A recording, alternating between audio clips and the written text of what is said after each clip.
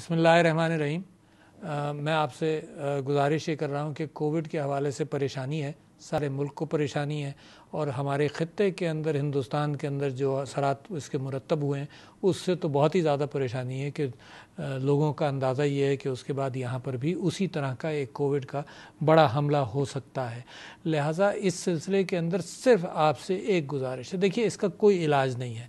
मगर ये कि हमारे वसाइल के अतबार से हमने वसाइल को बहुत बड़ा किया, उसके बावजूद तकरीबन 80 या नबे फ़ीसद हमारे अस्पतालों के बेड हमारे वेंटिलेटर्स हमारे आईसीयू हमारे आ, आ, सारी चीज़ें तकरीबन 80 परसेंट इस्तेमाल हो रही हैं। इसका मतलब अगर पाकिस्तान के अंदर कल की जो इतला है कि ये फिर 700-800 नए मरीज़ आए और पाँच हज़ार के ऊपर गया बड़ा काउंट तो इसका मतलब ये है कि पंद्रह बीस फ़ीसद ये सात आठ हज़ार तक अगर पहुँच गया तो ये कैफियत पैदा होगी कि अस्पतालों के बस में नहीं रहेगी ये बात।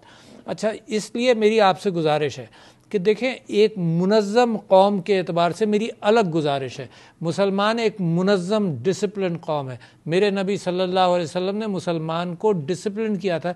यहाँ तक कि हर नमाज़ से पहले वो पीछे मुड़ कर देखते थे कि तुमने कतार सही बनाई या नहीं बनाई।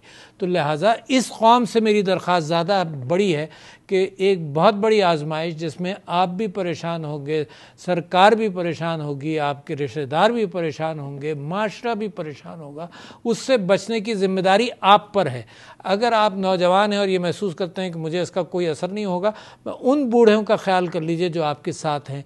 जिनके लिए ये जानलेवा भी हो सकता है। और सारे मुल्क का फोकस इस वक्त माशी डेवलपमेंट की तरफ़ है। इस वक्त मजदूरी नौकरियाँ बढ़ रही हैं इसके, इस एतबार से टेक्सटाइल सेक्टर में कंस्ट्रक्शन सेक्टर में।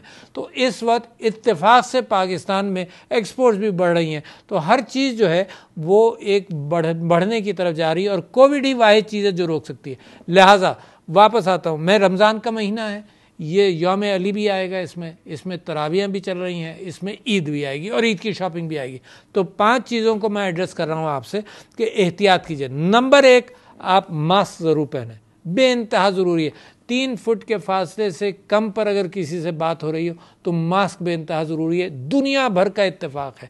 डबल मास्किंग की भी वो बात कर रहे हैं कि ज़्यादा एहतियात करनी हो तो एक का, वो कागज़ वाला मास्क उसके ऊपर ये कपड़े वाला मास्क उस तरह की कॉम्बिनेशन से डबल मास्किंग भी कर लें एहतियात बढ़ जाएगी। अपने बुज़ुर्ग अव्वल तो उलमा ने यह कहा था कि बुज़ुर्ग जो हैं वो तरावियों में ना जाएँ तो उनको छूट है। इस बात की अगर बुज़ुर्ग उसके बावजूद ज़िद करें तरावियों में जाने के लिए तो मुमकिन है डबल मास्क करके करें।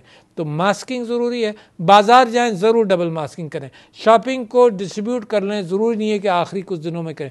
जो मैं टीवी पर और जो क्लिप्स देखता हूँ तो मुझे बड़ी परेशानी होती है कि लोगों को फ़िक्र है भी मगर मजबूरी से वो बाज़ार जा, जा रहे हैं। तो बाज़ार भी जाएँ तो मास्किंग करें मस्जिद में जाएँ तो मास्किंग करें एक।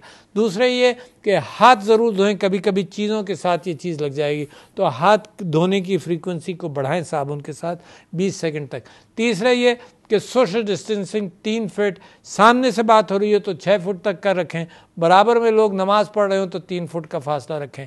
ये तीन चार चीज़ों पर आप अमल कर लीजिए एक महीना अमल कर लीजिए ईद गुजार दीजिए। इन जो कैफियत हिंदुस्तान में हुई कि साढ़े तीन लाख साठ हज़ार नए मरीज़ और पाकिस्तान में अल्लाह का फजल रहा है कि पाँच छः हज़ार के कुछ मैक्सिमम हुआ था और अभी भी पाँच, साढ़े पाँच पर है। मगर अमवात बढ़ गई। कल पाकिस्तान परसों पाकिस्तान में दो दो सौ एक अमवात हुई। लिहाजा मेरी आपसे अपील है, बड़ी स्ट्रांग अपील है। प्राइम मिनिस्टर साहब ने भी की। हर जिम्मेदार आदमी आपसे ये कह रहा है, इसमें किसी पार्टी का कोई डिफरेंस नहीं है। हर जिम्मेदार आदमी कह